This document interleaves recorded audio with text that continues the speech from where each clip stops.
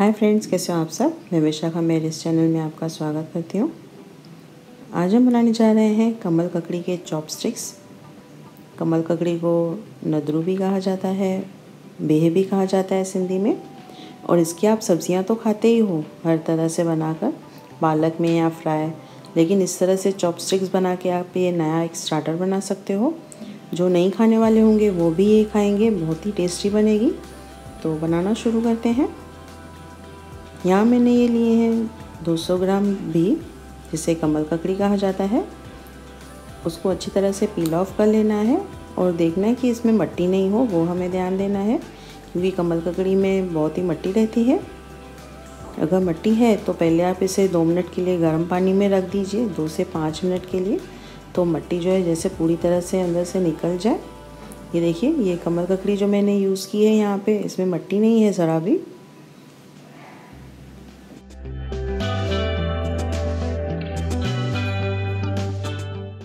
ये चॉपस्टिक्स के लिए आप इसको पहले बारीक काट लीजिए। या आप चाहे तो इसे दो मिनट के लिए बॉईल करके फिर आप उसे ग्रेट कीजिए। मैं इसको सीधा चॉपर में डालने वाली हूँ तो इस तरह से मैं स्मॉल पीसेस करके ऐसे चॉपर में डाल दूँगी। वो बहुत ही आसान हो जाता है रेसिपी जल्दी तैयार होगी। यहाँ मैंने ये एक अदरक का टुकड़ा और छः से सात लहसुन की कलियाँ ली है और दो हरी मिर्च। इसको हम अच्छी तरह से चॉप कर लेंगे।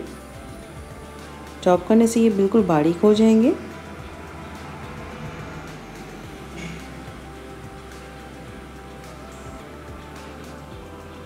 ये देखिए, कितना अच्छे से बारीक हो गए हैं।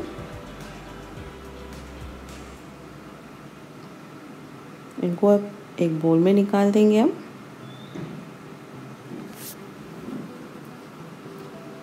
यहाँ ये दो आलू लिए हैं मैंने, इनको पील पील ऑफ़ कर लिया है। अभी हम एक बड़ा आलू यूज़ कर रहे हैं पहले इसमें। इसको हम ग्रेट करके डालेंगे, जैसे लम्स नहीं आए और अच्छी तरह से बाइंडिंग आ जाए।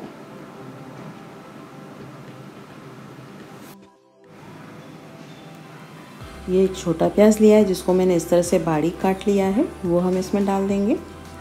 हाफ़ टी स्पून डालेंगे ज़ीरा।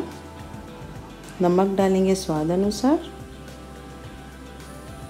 हाफ़ टी स्पून डाला है रेड चिली पाउडर। पहले ग्रीन चिली भी यूज़ किया है तो उस हिसाब से आप कम ज़्यादा कर सकते हो।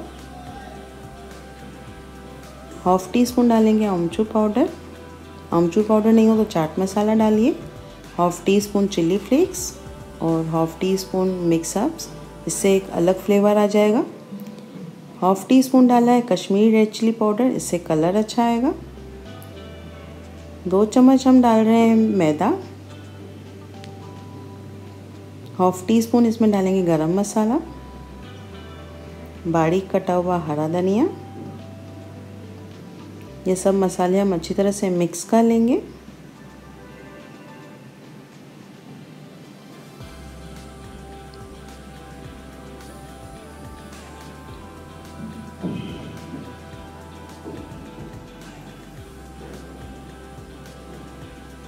दो चम्मच हम इसमें डालेंगे ब्रेड क्रम्स ये ड्राई ब्रेड क्रम्स है।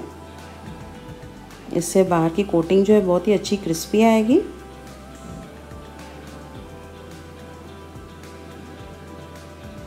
और फ्राई करने के टाइम इसका टूटने का भी डर नहीं रहेगा इससे।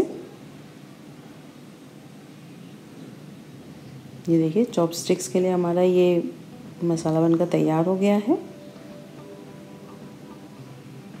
थोड़ा हम ऑयल से हाथ ग्रीस कर लेंगे और इस तरह से हम एक बॉल लेंगे। यहाँ हम चॉपस्टिक बनाने के लिए आइसक्रीम की स्टिक ले रहे हैं। इसको हम अच्छी तरह से डाल के एक चॉप की अच्छे से इनको शेप देंगे। इसको अच्छी तरह से दबाना है, जैसे फ्राई करने के टाइम ये स्टिक से निकल ना जाए।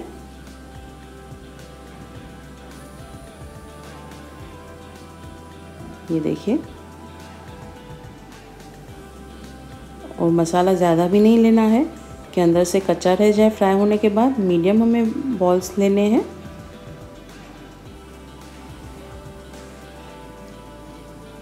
इस तरह से हम सारे चॉपस्टिक्स तैयार कर लेंगे।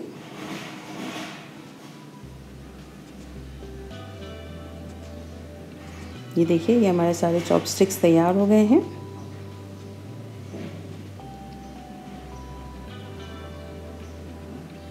इसको हम तब तक फ्रिज में रख देते हैं सेट होने के लिए। इसको जो है एक अच्छे अलग से सॉस के साथ सर्व किया जाता है। उसके लिए हमने यहाँ पे लिया है एक स्पून ऑयल। एक स्पून हम इसमें डालेंगे बारीक कटा हुआ लहसुन और अदरक। इनको हल्सा सा गोल्डन करेंगे। बहुत अच्छी सी खुशबू आएगी जब लहसुन से। हम गैस स्लो करेंगे और अभी सब सॉसेस डालेंगे इसमें। यहाँ हम डाल रहे हैं दो चम्मच red chilli sauce one tablespoon हम इसमें डालेंगे dark soya sauce two tablespoon डालेंगे सेजवान सॉस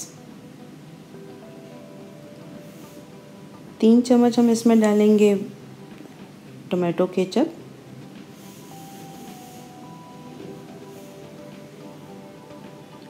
ये सब सॉसेस हम एक साथ अच्छे से मिला देंगे।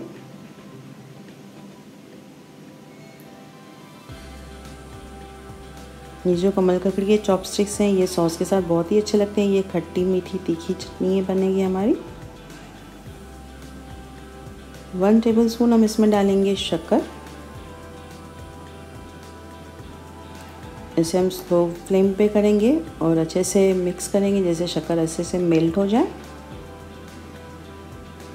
ये देखिए। दो मिनट के बाद ये शक्कर अच्छे से मेल्ट हो गई है। लास्ट में हम इसमें डालेंगे बारीक कटा हुआ हरा धनिया।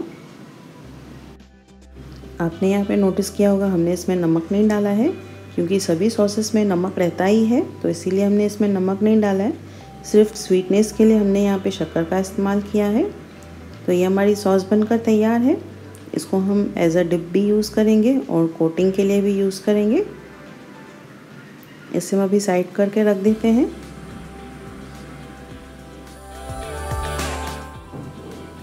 यहाँ हमने ऑयल भी गरम कर लिया है। ऑयल बिल्कुल गरम ज़्यादा नहीं होना चाहिए, थोड़ा ही गर्म होना चाहिए और गैस स्लो कर देनी है और सब स्टिक्स इसमें हमें डाल देनी है। आपने ज़्यादा क्वांटिटी में बनाई है तो एक साथ सब नहीं डाल दीजिए। स्मॉल बैचेस में इसे फ्राई कीजिए। और गैस हमें स्लो ही रखना है। फास्ट गैस रहेगा तो चॉपस्टिक्स बाहर से तो क्रिस्पी गोल्डन हो जाएँगे, लेकिन अंदर से कच्चे रह जाएँगे। आपके घर में अगर गेस्ट आ रहे हैं या इस तरह से पार्टी कुछ है फ़ंक्शन कुछ है तो इस तरह से चॉपस्टिक्स आप तैयार करके रख दीजिए। सर्व करने के टाइम पे आप इसे फ्राई कर सकते हो। और इसे दो से तीन मिनट बाद ऐसे ऐसे हम इसका साइड चेंज करेंगे।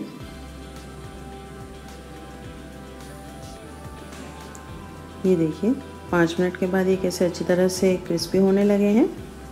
और हमने इसे स्लो फ्लेम पे किया है तो अंदर से भी जो कमल ककड़ी कच्ची हमने यूज़ की थी वो भी पक जाएगी अच्छी तरह से। और अगर आपको लग रहा है कि ऑयल भी ठंडा हो रहा है तो आप इसे मीडियम फ्लेम पे कर लीजिए, लेकिन फास्ट गैस नहीं कीजिएगा। इसको मीडियम फ्लेम पर ही हम अच्छे से क्रिस्पी गोल्डन करेंगे। ये देखिए, ये अभी अच्छी तरह से चॉपस्टिक्स हमारी तैयार हो गई हैं। इसको हम निकाल देंगे और बाकी का भी इस तरह से हम बैचेस बाकी फ्राई कर लेंगे।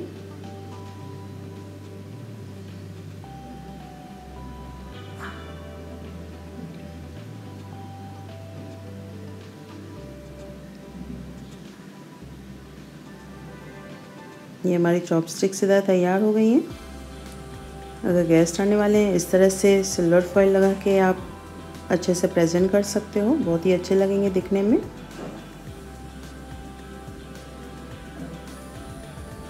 या घर में कोई छोटा मोटा फ़ंक्शन है तो भी ये अच्छे लगते हैं। इस तरह से अगर हम सिल्वर फॉइल से इसे कवर करेंगे तो स्टिक्स को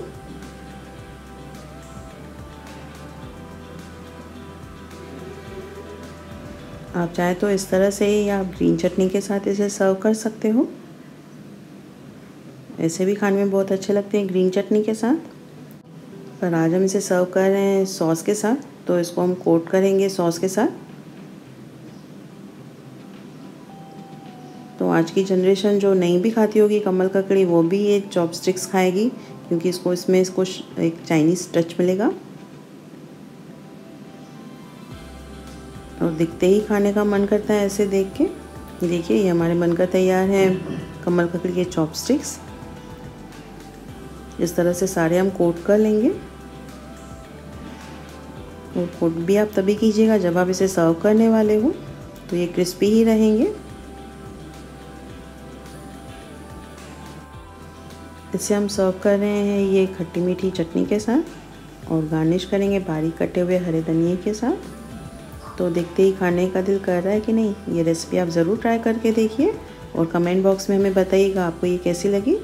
पसंद आए तो प्लीज़ शेयर कीजिए लाइक बटन दबाना ना भूलिए सब्सक्राइब कीजिए मेरे चैनल को और बेल आइकन दबाइए जैसे आगे के न्यू वीडियोस आपको मिलते रहें। फिर मिलेंगे किसी नए रेसिपी के साथ, तब तक के लिए धन्यवाद।